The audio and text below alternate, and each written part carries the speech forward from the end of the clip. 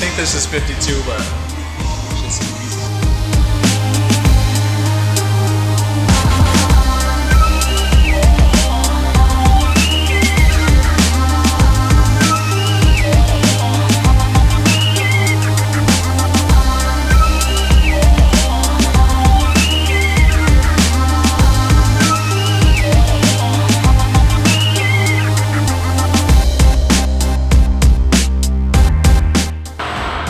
see how many inches this really is.